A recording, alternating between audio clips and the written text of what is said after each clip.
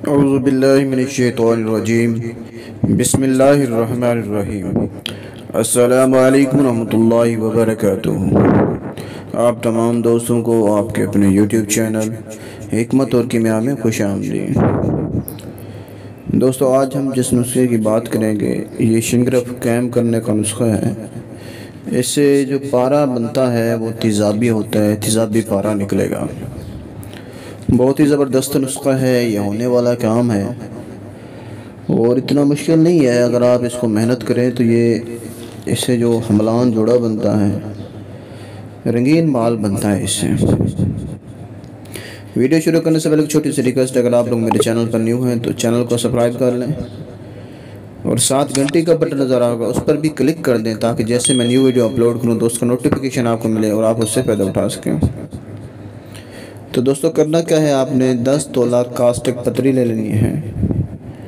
और 10 तोला आपने गंदा के आमला सार ले लेना है। इन दोनों को अच्छे से आपने खरल करना है। खरल इतना करना है कि जैसे चिकड़ सी बना लेना, इसको मुलायम चिकड़ बन जाएगी। बना कर रख लें इसको। आपने एक बीकर ले लेना है। हज़ार एमएल वाला बीकर लेने में ज़बरदस्त हो जाता है।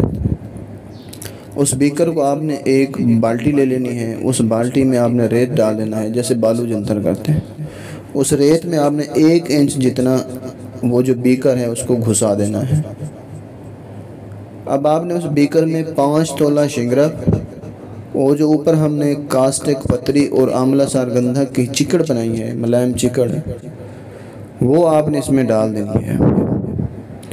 अब इस बीकर को आपने रेत पर जो रखा हुआ है, दरमियानी आँच पर इसको पकाना है। आग ज़्यादा नहीं करनी, क्योंकि आग ज़्यादा होगी तो गंधक जो है वो जल जाएगी।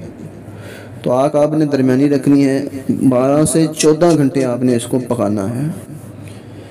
बारह से चौदह घंटे पकाने के बाद आपने इसको शिंगरक को बाहर निकाल लेना है दरमियान में से, उस बीकर के दरमियान में से निकाल लेना है।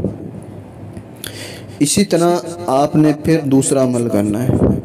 फिर से आपने दस तोला कास्टिक पतरी, दस तोला गंदा का अमला साल खड़काल की चिकन बनानी है। उस चिकन को आपने एक बीकर को बाल्टी में बालू रेत रख कर आपने उसके अंदर डालकर उसको 12 से 14 घंटे पकाना है। इसी तरह आपने तीसरा अमल भी करना है। उसको भी 12 से 14 घंटे आपने पकाना है। चिकड़ सी बनानी है, मुलायम।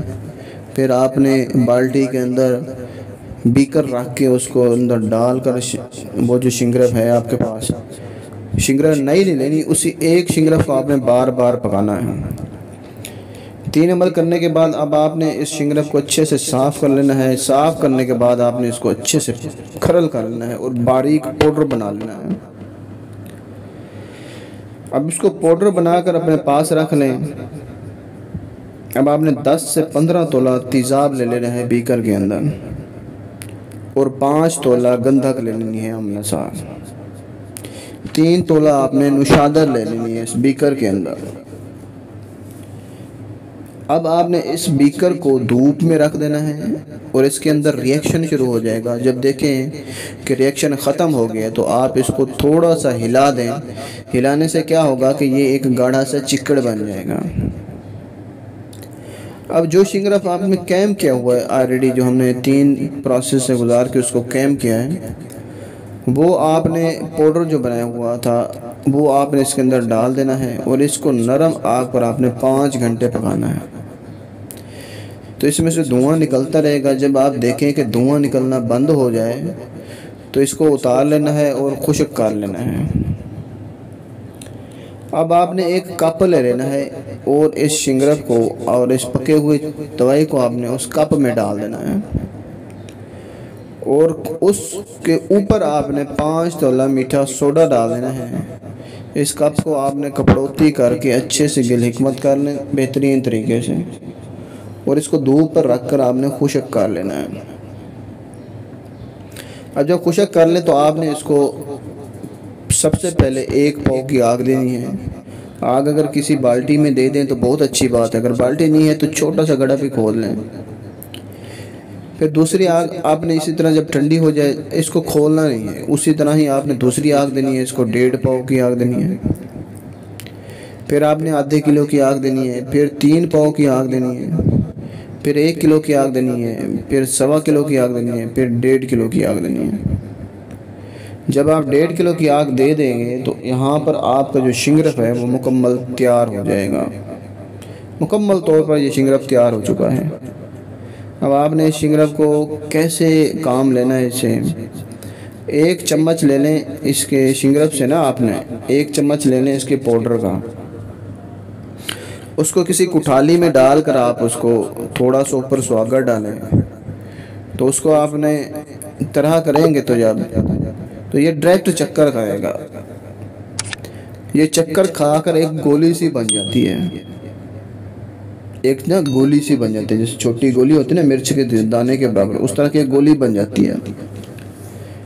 तो ये ज़बरदस्त होती है। इसको चांदी पर तरह करें तो एसिड प्रूफ होती है। और लेबार्ट्री पास होता है ये। मुकम्मल तौर पर लेबार्ट्री पास चीज़ बनती है। आप इसको इस तरह भी कर सकते हैं। एक तोला आप चांदी ले लें दो ग्राम आप, आप उसके अंदर सात ग्राम तांबा मिक्स कर सकते हैं। फिर इसको चक्कर दें तब भी कोई मसला नहीं है चक्कर थोड़ा अच्छा एक और काम आपने याद रखना है कि जब आप इसको तरह किया करें ना तो तरह करते वक्त आप इसको चक्कर थोड़ी ज़्यादा देर दिया करें। चक्कर ज़्यादा देर देने से क्या होता है कि जो दवाई होती है ना वो अंदर तक चली जाती है और आपकी खोट नहीं रहती और मुकम्मल तौर पर जो आपकी चीज़ बनती है वो खालिश होती है। तो आप क्या करना है आपने? चक्कर थोड़ा ज़्यादा देना है, चक्कर। तो इस तरह आप अगर आप दो तोला चांदी ले रहे हैं तो उसमें भी आप तांबा मिक्स कर सकते हैं। तो मतलब ये कहा है कि ये अगर आप इसको हमलान जोड़ा बनाएँ तो ये हमलान जोड़ा भी बन जाता है। तो बहुत ही ज़बरदस्त नुस्खा है, होने वाला काम है। इन आप इसको करें। अल्लाह पाक आपको कामयाबी दे, कामयाबी से हमकरार करे। अब तक के लिए अपने भाई को दे इजाज़त। अल्लाह